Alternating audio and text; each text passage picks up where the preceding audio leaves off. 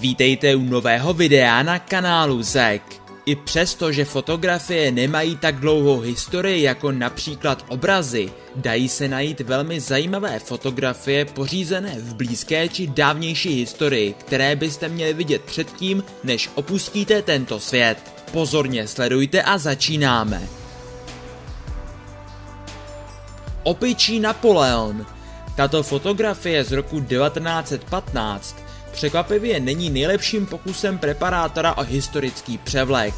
Jedná se totiž o skutečnou živou opici, přezdívanou Little Nap, tedy malý šlofík, nebo Napoleon ze světa šimpanzů.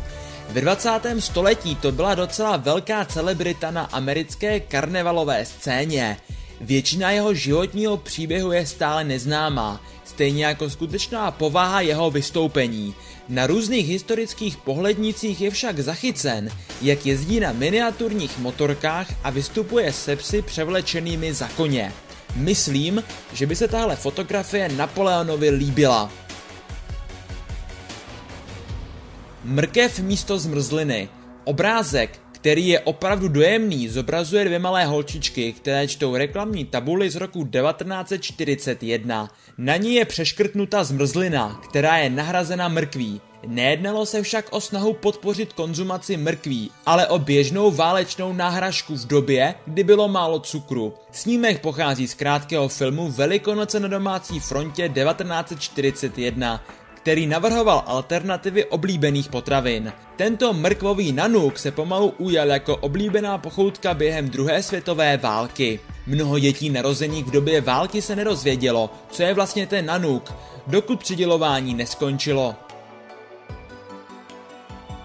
Dětské klece Většině lidí tato fotka připadá jako totální noční můra. Dětské klece, jako je tato, však byly ve skutečnosti považovány za bezpečný způsob, jak dopřát svým dětem trochu čerstvého vzduchu během 20. století.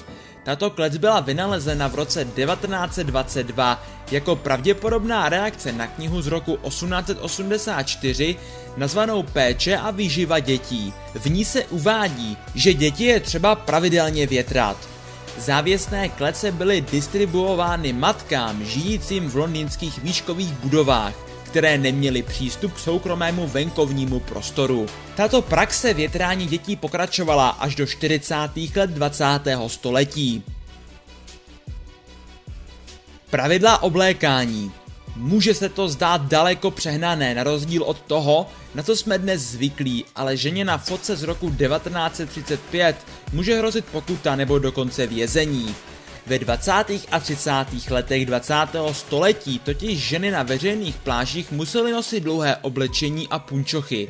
Mnohé z nich byly za porušení pravidel dokonce násilně vyvedeny. Na některých plážích bylo také striktně vyžadováno, aby muži nosili košile i v nejteplejších dnech. Něco takového by asi v dnešní době neprošlo. Radiologická sestra tuto děsivě vypadající postavu byste asi nechtěli potkat v temné uličce. Ve skutečnosti je však tahle postava na fotografii z roku 1918 a jedná se o francouzskou radiologickou sestru, která má na sobě všechny příslušné ochranné pomůcky. Radiolog se specializuje na zobrazovací techniky, jako je rengenové záření, takže není divu, že potřebuje tento typ vybavení.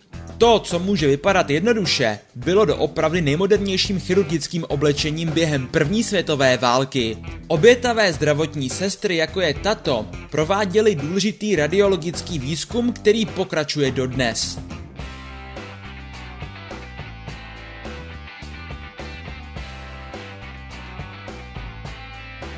Tak jsme opět na konci tohoto videa. Pokud se vám tohleto video líbilo, dejte like, video sdílejte svým přátelům a taky mi dejte odběr, aby vám neutekla žádná nová videa. My se opět uvidíme někdy příště, tak se mějte a zatím ahoj.